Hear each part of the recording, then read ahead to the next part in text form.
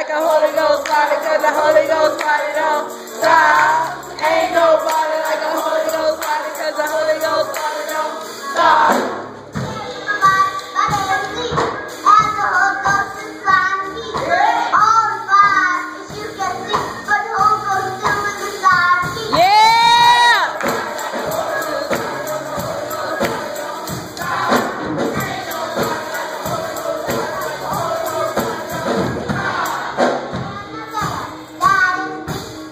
Bye.